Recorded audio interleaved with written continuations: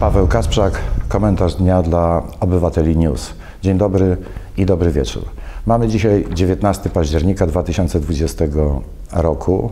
No i jak co dzień, również dzisiaj ten sam przykry obowiązek poinformowania, czy też przypomnienia, bo pewnie już wszyscy wiedzą o tym, że w ciągu ostatniej doby zanotowano tym razem 7482 nowe przypadki zakażeń koronawirusem, a ponieważ testów wykonano 36 tysięcy z groszami, no to jest to e, nieco ponad 20% wykrywalności w tej ogólnej liczbie testów.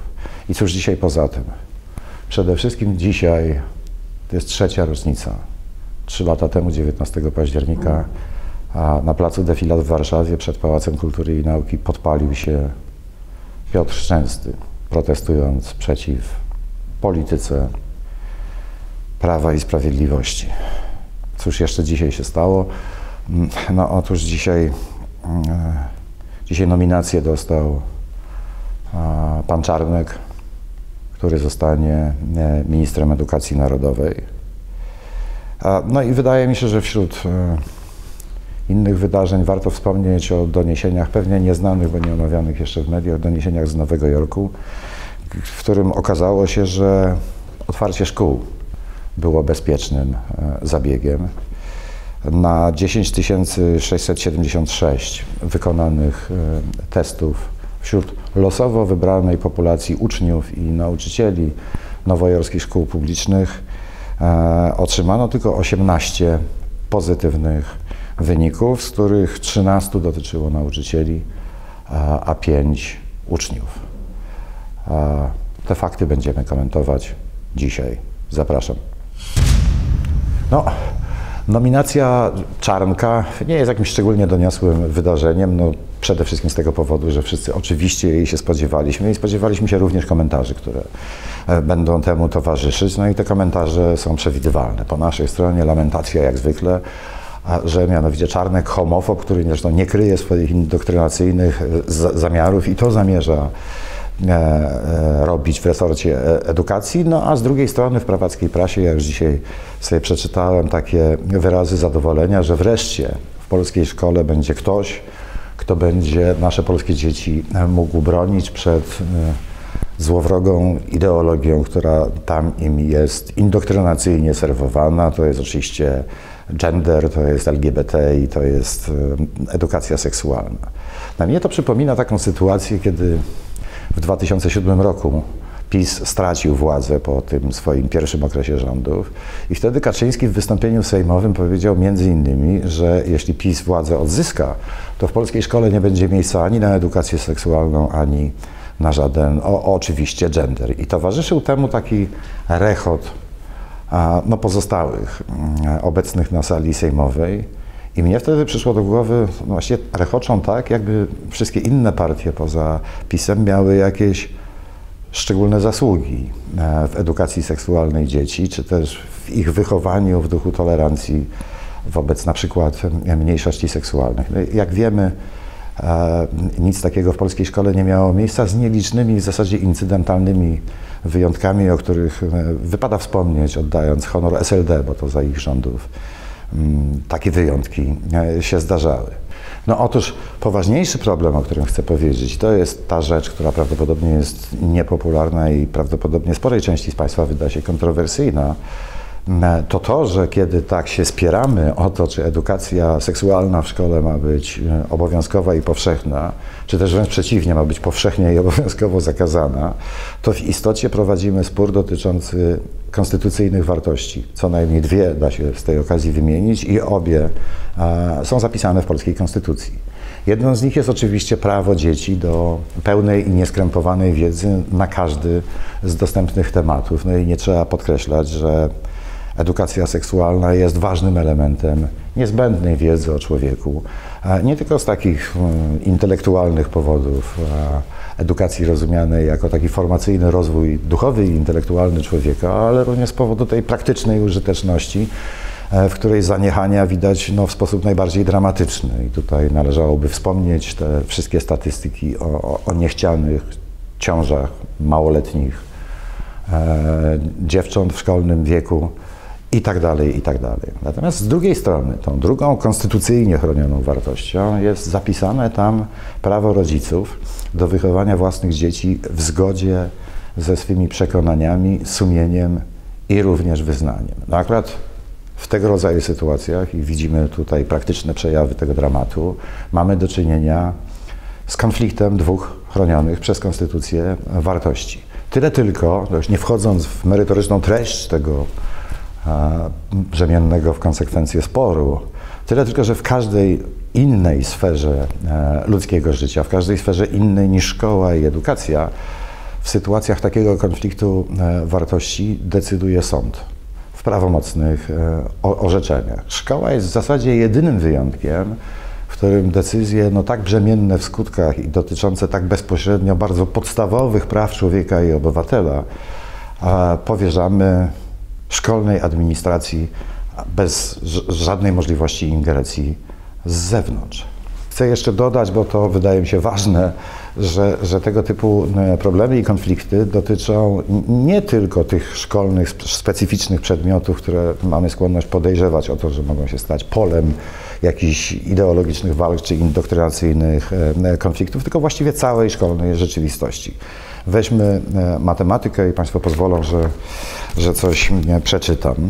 To jest fragment podstawy programowej nauczania matematyki opracowany w 2008 roku, więc zarządów PO i PSL. Ministrem mm, Edukacji Narodowej była wtedy pani Katarzyna Hala. I czytamy e, w komentarzu do podstawy mm, e, nauczania matematyki. Dlaczego w podstawie mówi się o tym, co uczeń potrafi, a nie akcentuje się tego, że ma też rozumieć wymagane pojęcia? Słowo rozumie jest za mało precyzyjne. Wszelkie próby ustalenia, czy uczeń rozumie dane pojęcie, jeśli nie prowadzi tego profesjonalnie przygotowany psycholog, grożą sprawdzaniem jedynie werbalnej wiedzy wyuczonych formułek. Z tego powodu o tym, czy uczeń należycie rozumie dane pojęcie, ma się wnioskować z tego, czy poprawnie i z sensem wykonuje określone w podstawie programowej czynności. Innymi słowy, czy radzi sobie mm, na testach. Ja bym dodał do tego taki komentarz, że no, nieprofesjonalnie przygotowany, nie psycholog, e, zrozumienie ucznia potrafi na ogół stwierdzić po prostu patrząc mu w oczy. No ale e, to już zostawmy, bo lepszym komentarzem do tego jest inny cytat e, z odpowiedniego amerykańskiego dokumentu. To jest tak zwany Common Core, czyli taka inicjatywa, która uwspólniła podstawy programowe pomiędzy amerykańskimi Stanami, no bo to one de jure e, są za e, podstawy programowe tamtejsze odpowiedzialne. Jak wygląda, jak właściwie wygląda matematyczne rozumienie, pytają autorzy amerykańskiego dokumentu. Jednym ze znamion jest zdolność wyjaśnienia, dlaczego jakieś matematyczne zdanie jest prawdziwe albo skąd się bierze ta lub inna reguła. Cała przepaść dzieli ucznia i to jest jakby wprost adresowane polemicznie do autorów polskiej podstawy, więc cała przepaść dzieli ucznia pamięciowo opanowującego wzory rozwijające iloczyn a plus b razy x plus y od tego, który potrafi wyjaśnić skąd się te wzory biorą. Tylko ten drugi rozumie matematykę. Ja bym dodał do tego, że nie tylko, tylko ten drugi rozumie matematykę, ale też tylko ten drugi ma okazję matematyką się bawić, dlatego że no, uzasadnić mm, rozwinięcia tego właśnie cytowanego iloczynu da się na e, całe mnóstwo bardzo rozmaitych sposobów i ich wymyślanie to jest rzeczywiście to, co w matematyce jest całkiem po prostu fajne, rozwijające, co jest intelektualnym wyzwaniem. Matematyka, przepraszam, że tyle o niej mówię, no ale jest sztuką abstrakcyjnego myślenia, podczas kiedy polska szkoła, nie tylko polska szkoła zresztą, bo to jest dosyć powszechna zaraza, e, zamienia ją no, właśnie wyzutą z wszelkiej abstrakcji, z pełną premedytacją. Słowo abstrakcja jest równie zakazane w tekście starej podstawy, jak, jak i myślenie. Mm, e, no, taką umiejętnością rachunkowego charakteru. Więc innymi słowy, polska szkoła, podobnie jak zresztą no, większość europejskiej szkoły, nawiązuje bardzo wprost choć niezupełnie świadomie, do tej pruskiej tradycji e, szkoły, która wtedy była uzasadniona, dzisiaj być może niezupełnie, bo ta pruska szkoła kształciła analfabetów i niosła oświecenie prostaczkom, w takich elementarnych, użytecznych bardzo umiejętnościach. Powiedziałbym, że jeśli się z takim założeniem projektuje szkołę, no to ona kolejnych prostaczków produkuje. W każdym razie, jeśli myślimy o ministrze edukacji i o tym, że no, fatalny człowiek nim e, został, to powinniśmy mieć raczej świadomość, że to nie osoba ministra powinna być tym, co nas e, interesuje najbardziej, ale ustrój szkoły. Taki, w którym jeśli ministrem zostaje kretyn, faszysta lub po prostu złodziej, to nasze dzieci nie są bezbronne. I my mamy wszystkie narzędzia, żeby no, wpływać na to, co państwowy system edukacji wkłada im do głów za naszą zgodą lub całkowicie bez niej. No i wreszcie komentarz dotyczący rozwoju sytuacji pa pandemicznej i, i, i, tego, co nas prawdopodobnie wszystkich najbardziej interesuje i najbardziej przeraża, czyli, czyli koronawirus. A no w świetle tego, o czym wspomniałem na wstępie, to znaczy tych doniesień z Nowego Jorku, a, że tam sytuacja w szkołach po ich otwarciu. Nowy Jork był pierwszym z amerykańskich stanów, który te decyzje, pierwszym z amerykańskich miast, który te decyzje e, podjął e, we wrześniu tego roku. Tam e, jest, gwoli informacji, ponad milion sto tysięcy uczniów publicznych szkół podstawowych w tym jednym mieście. No więc oczywiście jak wszędzie, tak i w Nowym Jorku obawiano się, że te szkoły będą miejscem aktywności tych legendarnych super roznosicieli, że w skrócie mówiąc staną się e, ogniskami epidemii. Takie są zresztą też podejrzenia specjalistów dotyczące no, e, tego, co się w Polsce dzieje, tego gwałtownego wzrostu odnotowanych e, przypadków zakażeń. W Ameryce okazało się inaczej. Otwarto szkoły z zachowaniem oczywiście wszelkich środków ostrożności. Otwarto je również na Brooklynie i w Queensie, mimo że tam ogłoszono taki rodzaj, tłumacząc na polskie warunki, czerwonych stref, bo tam ujawniły się kolejne jeszcze wtedy niezidentyfikowane ogniska epidemii i tam w związku z tym podjęto natychmiastowo jeszcze we wrześniu decyzję o zamknięciu bodajże 120 tych szkół, natomiast zamknięto je na krótko. Ta polityka testów, którą e, miasto Nowy Jork e, wprowadziło, że tak powiem na własną rękę, znaczy była decyzja e, władz miasta, zaczęła się dokładnie 10 dni temu i polega na tym, by losowo dobrane próby 10 do 20% populacji uczniów i nauczycieli poddawać regularnym testom raz w miesiącu. To bywa tam krytykowane, niektórzy domagają się, żeby tych testów było jeszcze więcej, żeby były trzy razy w miesiącu robione. E, no, różne są e, e, zastrzeżenia tego typu. Decyzja o otwarciu nowojorskich szkół też nie poszła tak całkiem gładko, ponieważ są bogatsze dzielnice, w których ustalono sobie, że, że jednak szkoły będą no, otwarte hybrydowo albo jednak przejdą na nauczanie zdalne. Na tą całą sytuację oczywiście nakłada się cała siatka problemów związanych z nierównościami społecznymi i tak dalej. Kolejnym problemem jest to, że na około 500 tysięcy dzieci, które aktualnie w Nowym Jorku regularnie chodzą na zajęcia te stacjonarne w szkołach, e, zgodę e, na przeprowadzanie tych testów e, przesłali do władz edukacyjnych rodzice jedynie 72 tysięcy. Pytanie, co zrobić z tymi, co do których władze światowe nie mają zgody na, na, na, prowadzenie testów wśród dzieci. No jednym z pomysłów jest oczywiście to, żeby, żeby im z kolei nakazać nauczanie zdalne. Dyskusje na ten temat e, trwają, natomiast no, te wieści o tym, że na ponad 10 tysięcy testów było raptem 18 przypadków e, pozytywnych wyników, no są jaskółką nadziei. Może się wreszcie okazało, że albo Nowy Jork osiągnął tę legendarną odporność stadną, albo, co potwierdzają, zdaje się, e, badania w coraz większym stopniu, dzieci nie bywają jednak tak niebezpiecznymi e, roznosicielami e, wirusa, jak się tego obawialiśmy. Innymi słowy, łapią tę infekcję rzadziej i rzadziej ją roznoszą. No, y, w Ameryce oczywiście uważa się, że, że ten nowojorski przykład, jeżeli e, ta tendencja się potwierdzi i utrzyma, no będzie mógł być modelowym e, rozwiązaniem dla e, reszty Stanów Zjednoczonych. Czy z tego się da skorzystać w Polsce? No szczerze mówiąc, bardzo wątpię, dlatego że, no cóż, jak się wchodzi do nowojorskiej szkoły, oczywiście, każde dziecko ma mierzoną temperaturę. Jeśli ona przekroczy tę dopuszczalną, to nie jest do budynku szkoły wpuszczany i tak dalej. No, mnóstwo tego typu środków ostrożności tam się stosuje, które w polskich szkołach e, nie są obecne w żadnym stopniu. Znaczy, środki ostrożności w szkole mojego, jednego z moich dzieci, polegają na tym, że odbierając to dziecko ze szkoły, muszę się podpisywać na liście wchodzących. Racjonalne to jest niby tyle tylko, że mamy wszyscy do dyspozycji jeden wspólny długopis. Ja nigdy nie pamiętam, żeby wziąć swój własny. E, no, stoi dozownik z płynem do odkażania e, obok, no ale no, środki ostrożności to raczej jest kpina i, i, i raczej wyglądają na przeciwskuteczne niż rzeczywiście skuteczne. I myślę sobie, że co, cóż, komentarz do tych mm, wy wydarzeń byłby raczej taki. A prawdopodobnie taki program testów w skali na przykład miasta stołecznego Warszawy dałoby się wyobrazić. Znaczy, można by było spróbować zarządzić takie testy w szkołach publicznych e, w mieście Warszawa i w każdym innym miejscu w Polsce. To być może dałoby się to zrobić tak, że byłoby to w gestii samorządów.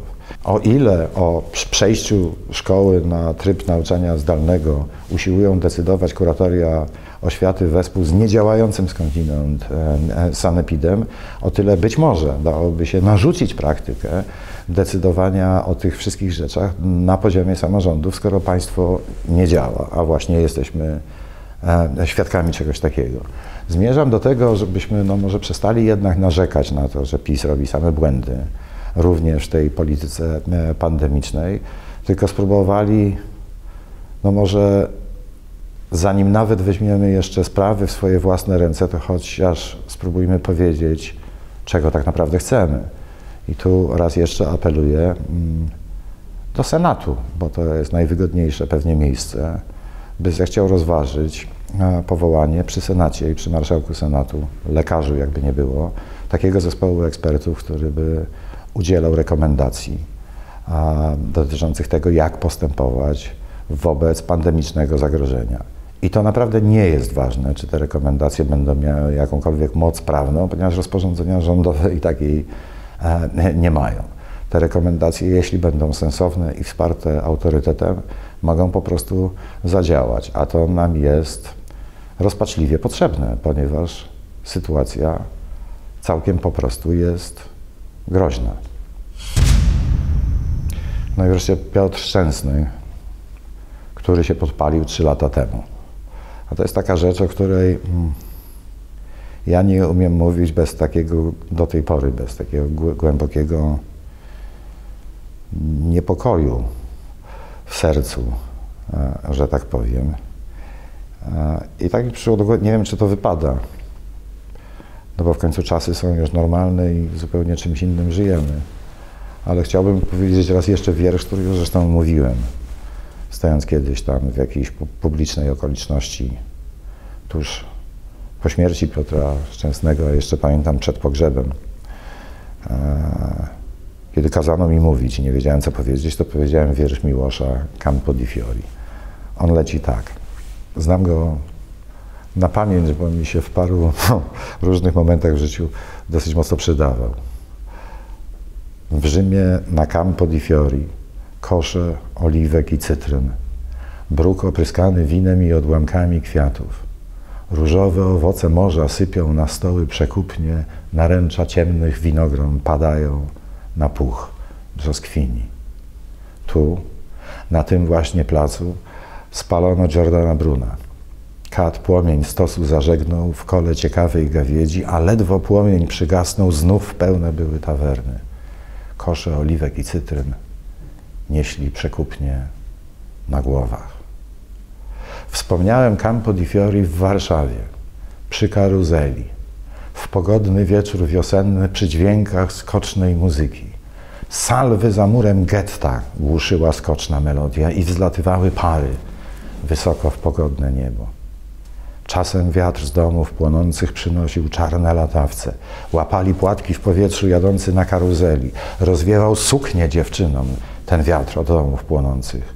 Śmiały się tłumy wesołe w czas pięknej warszawskiej niedzieli. Morał ktoś może wyczyta, że lud warszawski czy rzymski handluje, bawi się, kocha, mijając męczeńskie stosy. Inny ktoś morał wyczyta o rzeczy ludzkich mijaniu, o zapomnieniu, co rośnie, nim jeszcze płomień przygasnął. Ja jednak wtedy myślałem o samotności ginących, o tym, że kiedy Giordano wstępował na rusztowanie, nie znalazł w ludzkim języku ani jednego wyrazu, aby nim ludzkość pożegnać. Tę ludzkość, która zostaje. Już biegli wychylać wino, sprzedawać białe rozgwiazdy, kosze oliwek i cytryn nieśli w wesołym gwarze i był już od nich odległy, jakby minęły wieki, a oni chwilę czekali na jego odlot w pożarze. I ci ginący, samotni, już zapomniani od świata, język ich stał się nam obcy jak język dawnej planety. Aż wszystko będzie legendą. I wtedy, po wielu latach, na nowym Campo di Fiori, bunt wznieci słowo poety. I myślę sobie, i tak wtedy to komentowałem, że to jest no, bardzo prawdziwy wiersz, przejmujący oczywiście, i, i, ale przede wszystkim, jak to zwykle u Miłosza, niezwykle precyzyjnie napisany, tam nie ma przypadkowego słowa. I ta, ta końcówka być, być może, być może jest ważna w tej sytuacji. I potem był pogrzeb Piotra Szczęsnego i przepiękne, przepiękna homilia, którą ksiądz Boniecki wtedy wygłaszał. On mówił o tym, no, siłą rzeczy, w tej jego homilii były takie wątki polemiczne. No jeden z nich dotyczył oczywiście tych tez o szaleństwie e, Piotra Szczęsnego, a drugi wątek, pewnie dla księdza Bonieckiego ważniejszy, dotyczył tego, no, czy, czy wolno w jakikolwiek sposób chwalić czy afirmować no, akt tego rodzaju, który da się interpretować jako, jako samobójstwo. Ksiądz Boniecki mówił wtedy o tej takiej bardzo szczególnej wrażliwości, o takiej nadwzroczności wszystkich biblijnych proroków, która właśnie nie jest normalna. W tym sensie, że nie jest przeciętna. A być może nie jest normalna również, bo tam taka ich nadwzroczność kojarzy się no właśnie z szaleństwem. Ta taka zdolność dostrzegania rzeczy, których inni nie widzą i zdolność przywiązywania do nich znaczeń, które inni kompletnie ignorują i zdolność do takiego krzyku, który wszystkim w koło wydaje się historyczny, a, a który, jak się potem okazuje, zawsze ma tak doniosłe znaczenie. Tylko ksiądz Boniecki wtedy, o ile dobrze pamiętam, a pamiętam nieźle, nie, nie powiedział czegoś, co tkwi w wierszu Miłosza właśnie. Że biblijni prorocy, jeśli ktoś w ogóle się dzisiaj przejmuje świętymi księgami, no ale w nich zawsze prorok pełni bardzo ściśle określoną funkcję. Żydzi mówią, jest taka żydowska tradycja, że, że Biblia to nie jest księga o Bogu napisana przez człowieka, tylko jest odwrotnie, że to księga napisana przez Boga o ludziach. No i wtedy właśnie z tego punktu widzenia prorocy w Biblii mają bardzo ściśle określoną i dosyć prostą rolę. Oni są mianowicie po to, by krzyczeć i by ich ostrzeżeń nikt nie posłuchał. Tak zawsze jest. I prorok wtedy nabiera znaczenia, kiedy jego kości zbieleją, tak? a jego proroctwo stanie się takim test, tekstem wyzutym z tych osobistych lęków, emocji, które każdemu z tych proroków przecież towarzyszyły. Staną się takim tekstem trochę pomnikowym. Miłość napisał, aż wszystko będzie legendą. I ja pamiętam to straszliwe uczucie takie, kiedy kiedy się dowiedziałem o tym, co Piotr Szczęsny zrobił na placu defilat, to powiedziałem sobie, kurczę, on by tego po prostu nie zrobił, gdybyśmy my nie zawiedli. Mówię my o aktywistach no, opozycji całkiem po prostu. Znaczy, gdyby istniał jakiś dający realną nadzieję, racjonalny plan wyjścia z tej koszmarnej sytuacji, to on by tego robić nie musiał. Wydaje mi się, że jeśli jest coś jakaś tragedia bardziej dramatyczna niż ta koszmarna śmierć w płomieniach, no to jest nią właśnie ta wewnętrzna sprzeczność tego gestu samospalenia, która właściwie każdemu takiemu gestowi towarzyszy. Otóż Piotr Szczęsny napisał, no i po to najwyraźniej zrobił to, co zrobił. Napisał przebudźcie się, licząc na to, że dramatyzm tej jego ofiary to właśnie spowoduje. No i otóż albo jest tak, że jego diagnoza jest fałszywa i nikogo nie trzeba budzić, albo jest tak, że jeśli ta diagnoza jest prawdziwa, to ten jego gest nikogo nie obudzi. Właśnie dlatego, że jest tak gwałtowny i właśnie dlatego, że tak bardzo chce nas przebudzić tą naturalną reakcją.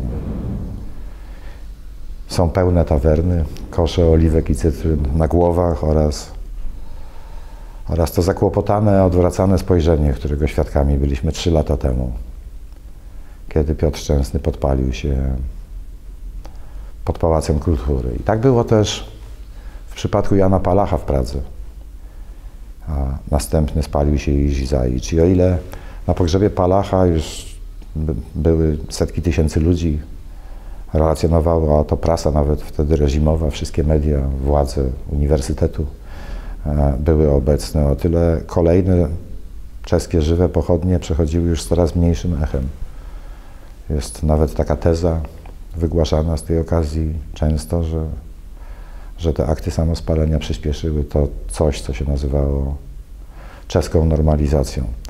Nie wiem, czy ona jest słuszna, ta teza, ale w każdym razie wiem tyle, że w rok po śmierci Palacha i w rok po tych jego wielotysięcznych tłumach na jego, na jego pogrzebie, samotną już wtedy zupełnie a, i zastraszoną rodzinę zmuszono do tego, by zaakceptowała ekshumację ciała Palacha, którego pochowano w innym miejscu pod zmienionym nazwiskiem i nikt się już o to nie upomniał. I było to rok.